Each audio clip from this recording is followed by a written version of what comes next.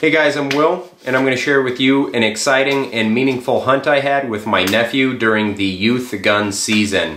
Before it's getting dark, the deer come into the field when they're supposed to. One does, and it's a buck fawn, of course, and I'm like, ah, we can't shoot it. Um, it's a buck fawn. We're going to hold off and see what else happens. And I can see the fawn looking back into the wood line. I know there's more deer. And so um, it's looking back, it's looking back, but no deer are coming. And I'm like, okay, well, we got a little bit of time, but light is fading. Suddenly, my wife gets in her vehicle, and we're only, you know, food plot's only 150 yards from my house, tops. And uh, uh, that little buck goes running off the field, and instantly I'm like, I screwed up bad. I should have just let him shoot that deer, and now we might not get a deer at all before it gets dark because I'm being stingy with my buck fawns, okay? Five minutes later, I can see him in the wood line again. I see two deer. He comes out with his bum-legged, crippled mom, the, the target doe.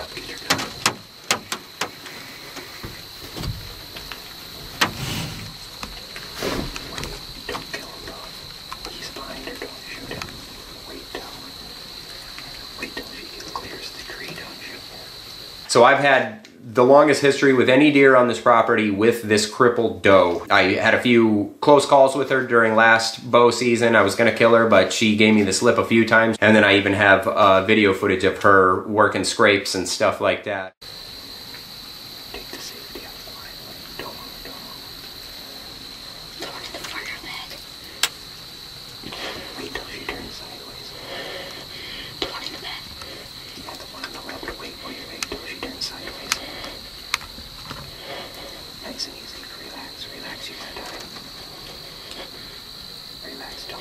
Nice and easy. Okay, nice and easy, no big deal. Wait till she right on that shoulder when if you can make that shot. Remember two stage trigger.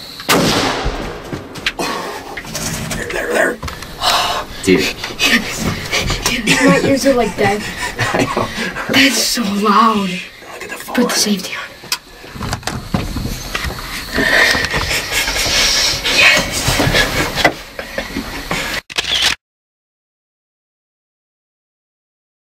It was really impressive that he could he was that excited breathing and shaking like that, that but he could control that excitement and get those crosshairs on her and put them in there on her at 80 yards two of them center mass no problem.